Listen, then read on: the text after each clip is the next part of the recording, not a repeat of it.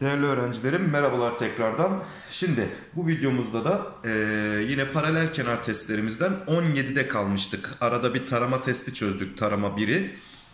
17. köşe taşımızdan devam ediyorum arkadaşlarım. Hemen şöyle bir odaklanmasını ayarlayalım ve başlayalım.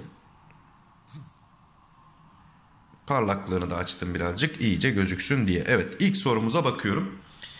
Şimdi bir açıortay görüyoruz ve diyor ki CE BE'nin 3 katıdır. Yani şuraya 1K yazarsam ben şurası 3 katı olacakmış. 3K'yı da buraya yapıştırdık. Şimdi açıortayımızda şöyle bir özellik vardı.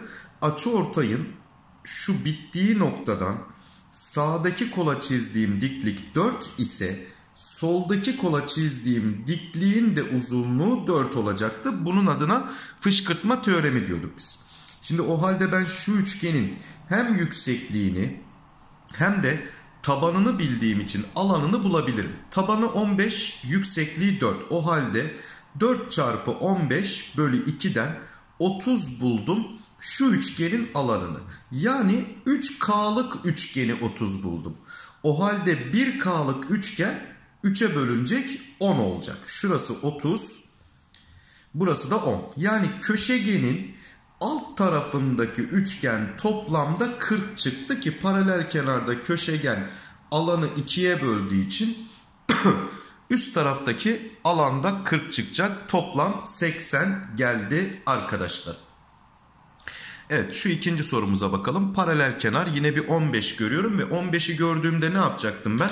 15 75 90 üçgeninde haşa 4 taş kuralını kullanacağız. Hemen şuradan aşağıya bir diklik indiriyorum. Bakın bu dikliğin indiği hipotenüsün uzunluğu 12 ise benim yüksekliğim bunun 4'e bölünmüş hali olacaktı 3. O halde 3 ve 4 şu üçgenin yüksekliği ve tabanı. O halde ben bu üçgenin alanını buluyorum. Hemen 3 çarpı 12 36 yapar.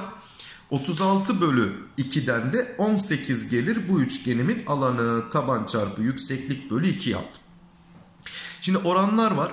BE diyor 3K derseniz BE'ye CE 2K olacak diyor. Bunu yazalım. Bir de AH HE'nin 3 katıymış. Yani şuna M dersem burası da 3M'ymiş. Ve bakın 3M'lik üçgene 18 birimlik alan düştü. 6 katı yani. 1M'ye ne düşecek? 6 katı 6 düşecek. Peki şuradaki 3K'ya 18 ile 6'nın toplamı 24 birimlik alan düştü 3K'ya. Yani 8 katı düştü.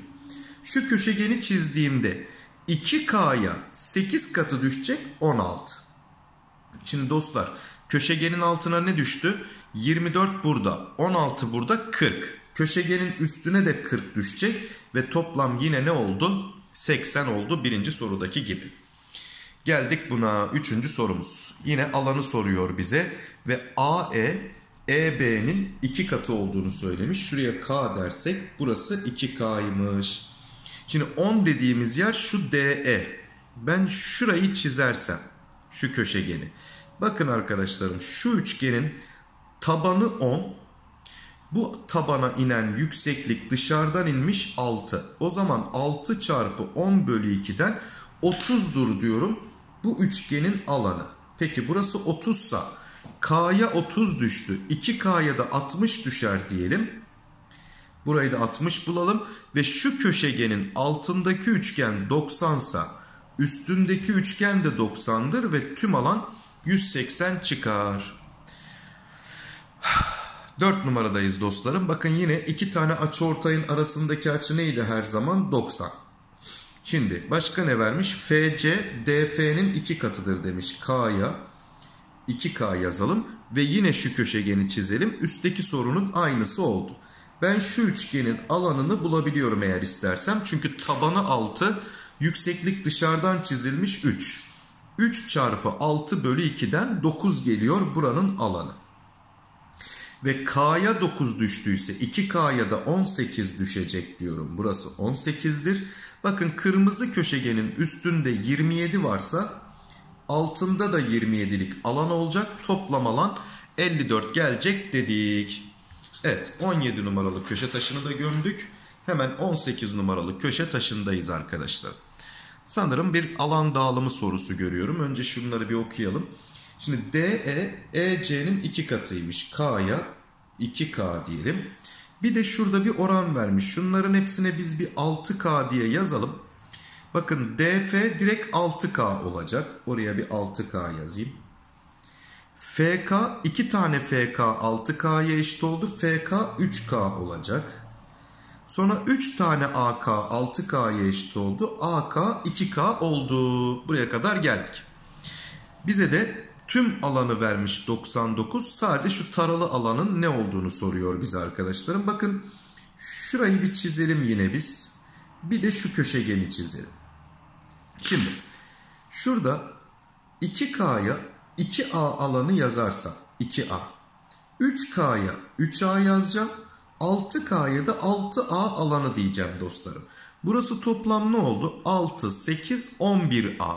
Şimdi 2K'ya 11A düştüyse K'ya 11A bölü 2 düşecek. Peki buraya toplam 11 artı 11 bölü 2 düştü. O zaman buraya da 11A artı 11A bölü 2 düşecek diyelim. Ve hepsinin toplamı neymiş? 99. Hadi toplayalım. 11. 11 de buradan 22.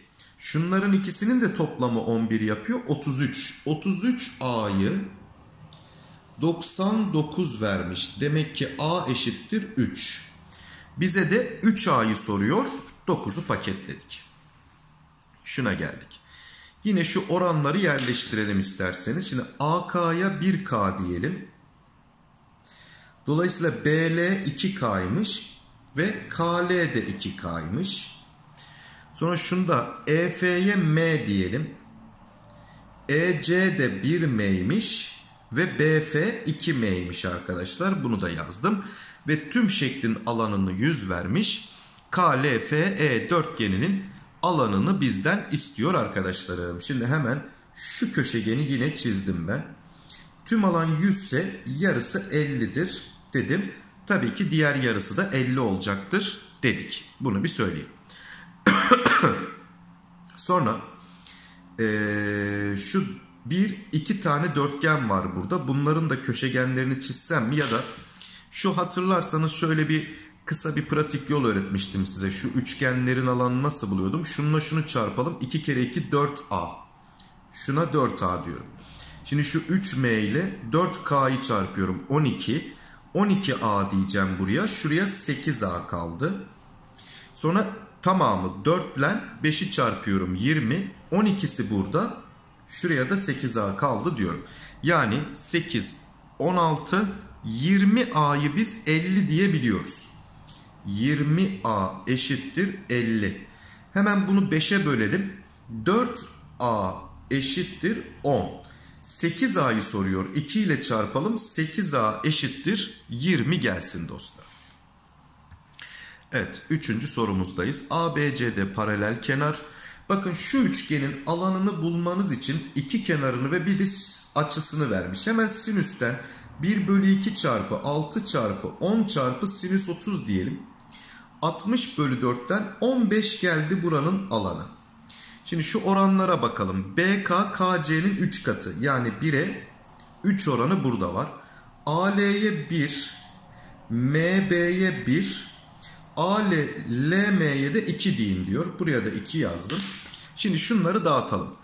İkilik kenara 15'lik alan düştü. 1'e ne düşer diye soralım. Yarısı 15 bölü 2. Sonra şurayı çizersem şunu. Burada da birlik bir üçgen var. Buna da 15 bölü 2 düşecek diyelim. Bir de şu köşegeni çizelim. Bakın şu 3 ile 1'i kıyaslayacağım. 3'e ne düştü şimdi? 15 bölü 2. 15 bölü 2 daha 15. 15 daha 30. 3'e 30 düştü. Şuradaki üçgenin alanı 30. 1'e ne düşer? 10. Demek ki köşegenin alt tarafı 40, üst tarafı da 40, toplam 80 oldu diyebilirim. 4 numaradayız. ABC'de paralel kenarında 5 ve 4 eşit parçaya bölünmüştür. Paralel kenarın alanı 80 ise alan KLMN nedir diye bir soru soruyor bize. Yine şu köşegeni çizdim arkadaşlarım. Bakın şunlar 1, 1, 1, 1, 1. Şunlar da 1 1 1 1. Yani harf vermedim sadece sayı yazdım. Şimdi ne yapıyordum bu pratik yöntemimde? 3 ile 2'yi çarpıyorum 6A yazıyorum buraya. Sonra şu üçgeni bulacağım şimdi. A, N, K. 1, 2, 3, 4 ile 1, 2, 3'ü çarpıyorum. 12A diyeceğim. Şuraya 6A kaldı. Şimdi tamamı 4 ile 5'i çarpıyorum. 20. 12'si burada. Şuraya da 8A diyeceğim.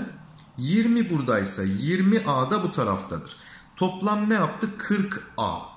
40A'yı bize 80 vermiş. A 2. 6A'yı soruyor. Hemen Edirne'yi paketledik. Evet 18 numarada tamamdır. Hemen 19'u çevirdim. 19'umuzu yapalım.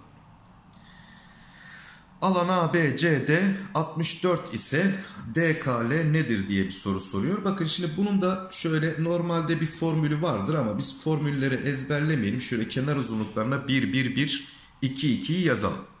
Şimdi şu üçgenin alanı 2 kere 1 2A. Şu üçgen 1 kere 1 1A. Bu üçgen 2 kere 1 2A. Şimdi şu köşegeni çizseydim paralel kenarda. 2 kere 2 4A olurdu bu üçgen. E 4A'da alttaki üçgen olacaktı. 8A tüm paralel kenar. 2, 4, 5'i buradaysa ortaya da 3A kaldı diyecektim. Şimdi tüm alanı bize 64 vermiş. Yani 8A'ya 64 vermiş. Demek ki A 8. 3A'yı soruyor. 24'ü paketledik. Şuna geldik. Şimdi AK BK'nın 2 katıdır diyor. 1'e 2 şuraya 3 yazdım. CL BL'nin BL CL'nin 2 katıdır diyor arkadaşlarım. CL'ye 1 BL'ye 2 yazdım. Buraya da 3 yazdım. Şimdi yine aynı şekilde alan dağılımı yapalım isterseniz. Şurası 3 kere 1 3A. 2 kere 1 2A. 3 kere 2 6A.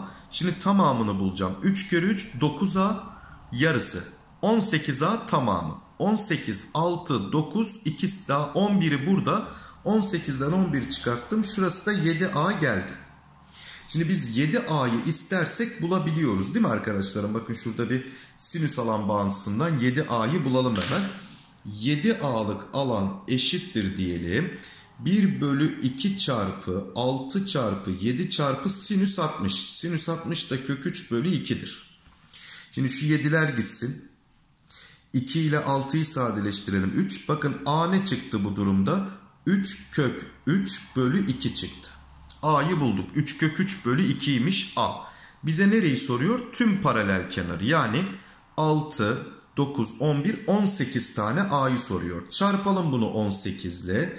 18 çarpı 3 kök 3 bölü 2. Bölü 2 ile gitsin 9. 9 kere 3 27 kök 3 geldi. Sorumun cevabı.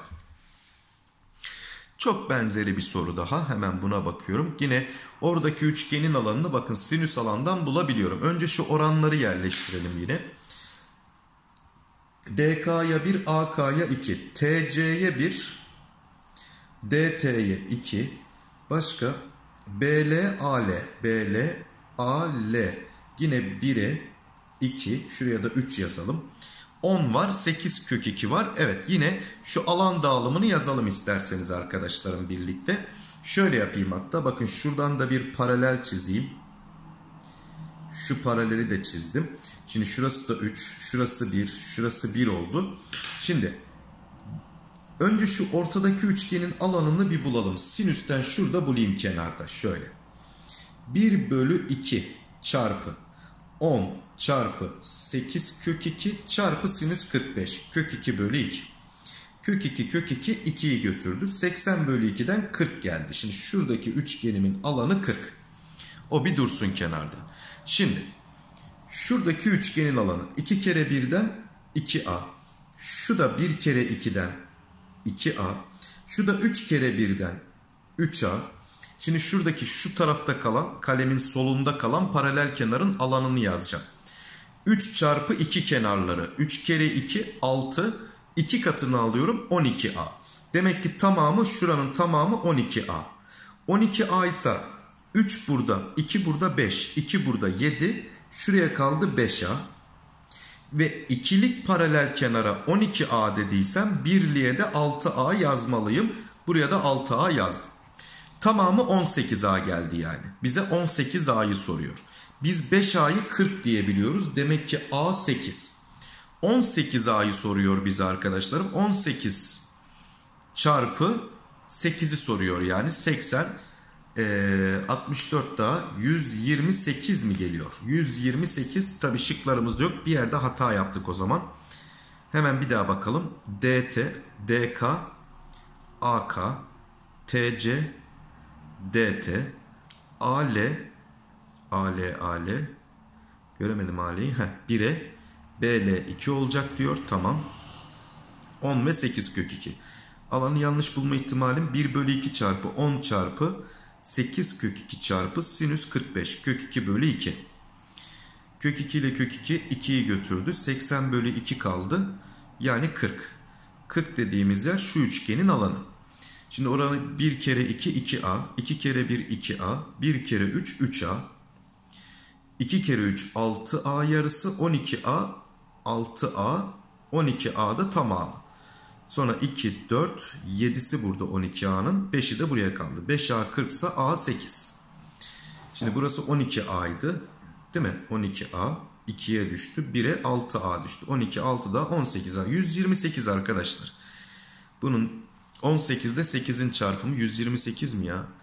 80 Lan 64 144 ya. Uf, zaten şıklarda varmış. Ben de 128 niye şıklarda yok diye bütün soruyu baştan bir daha çözdük yalandan yere vakit kaybı oldu. Neyse.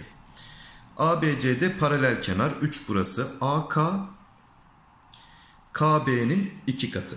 1'e 2 diyelim. KN 3'müş tamam. DL ile DK'nın toplamı da 16'ymış. Şimdi şuradan çizdiğim diklik de 3 değil mi arkadaşlarım benim? Hani açıortayın fışkırtma teoremi. Sonra 3 çarpı dk bölü 2 şu üçgenin alanı. Yazıyorum.